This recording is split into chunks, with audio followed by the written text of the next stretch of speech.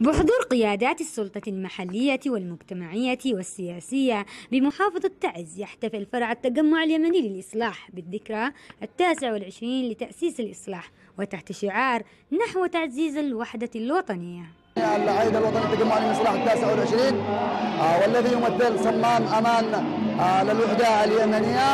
آه، إذ نجسد روح روح المجتمع الواحد في ظل في ظل هذه الحروب الطاحنة التي تمر بها البلاد وبمشيئة الله عز وجل سوف نكون عند حسن ظن الجميع وسنكون درع حصين للحماية على وحده واستقلالية الوطن. دستورنا اليمني يبنى على التعددية الحزبية وإيجاد مساحة ديمقراطية وحرية الرأي والانتماء.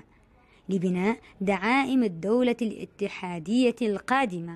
اليوم الذكرى التاسعة والعشرين من تأسيس حزب التجمع اليمني للإسماء وهذا اليوم يعتبر لنا يوم ميلاد الوطن الجديد حيث أنه دائما ينهض إلى بناء دولة مدنية ودائما يقوم بإسناد الدولة للتقدم والنهوض وتكون دولة مدنية حديثة.